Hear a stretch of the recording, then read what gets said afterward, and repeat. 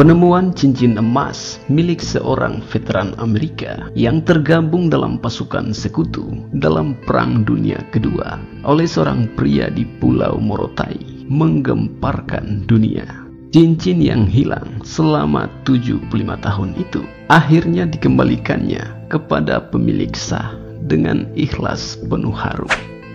Assalamualaikum warahmatullahi wabarakatuh. Salam sejahtera untuk kita semua. Kesempatan kali ini catatan KJP akan membahas sedikit tentang Morotai dan kembalinya cincin perang dunia kedua. Namun sebelum lanjut, seperti biasa klik subscribe dulu ya. Buat saudara orang yang belum subscribe agar kita bisa terus saling berbagi informasi menarik tentang Maluku.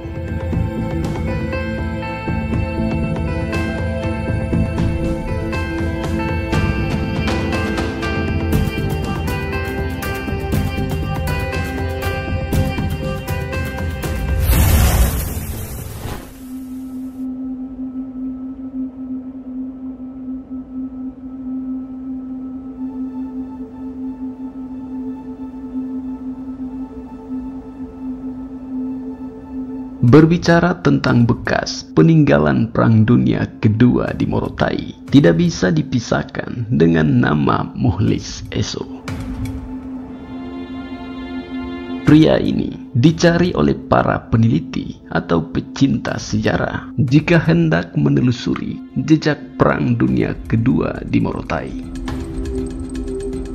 Seperti dilansir kompas.id, selain mendirikan museum swadaya, Muhlis Eso juga menjelaskan berbagai hal seputar perang sekutu melawan Jepang di pulau terluar itu kepada siapa saja yang ingin mengetahuinya.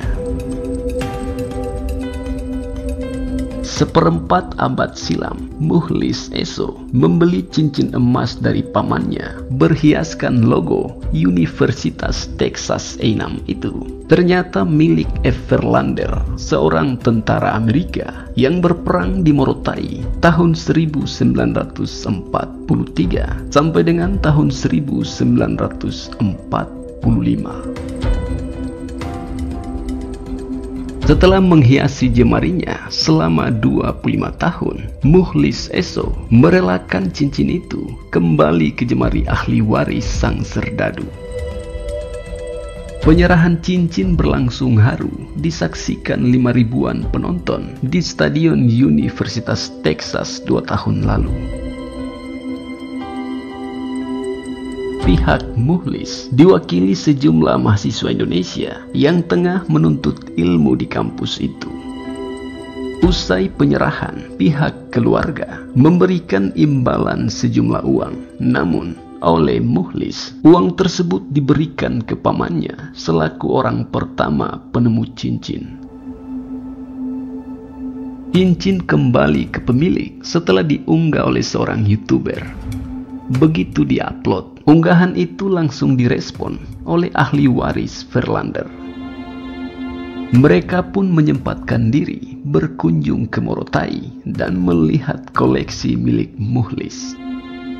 Sebelum mengembalikan cincin, Muhlis Eso sempat menitipkan pesan tulus untuk keluarga Verlander sebagaimana yang termuat dalam video di kanal YouTube Texas A&M University.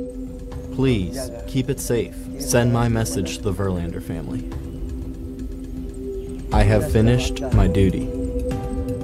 But please, when it gets into your hands, please keep it safe.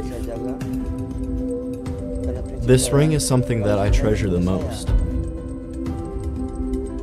I have been trying very hard to keep it safe, and I desperately want to give it back to its rightful owner. I can't bear myself to keep this ring, I don't have the right to keep it. I don't have the right to keep it because it has its owner. I'm like you and you're like me. Dan cincin pun diserahkan dengan mata berkaca-kaca.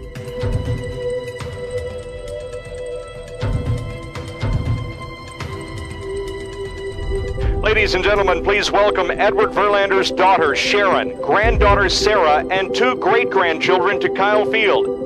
as they're presented with his Aggie ring lost more than 75 years ago.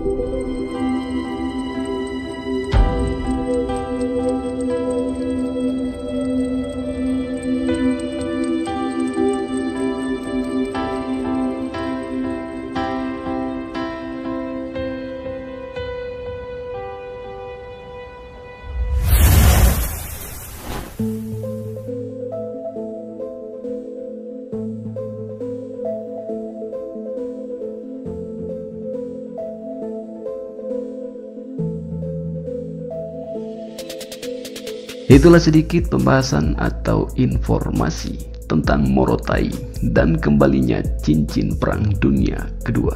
Lebih dan kurangnya mohon maaf ya. Dan semoga tayangan ini bisa bermanfaat. Akhir kata wassalamualaikum warahmatullahi wabarakatuh. Salam damai.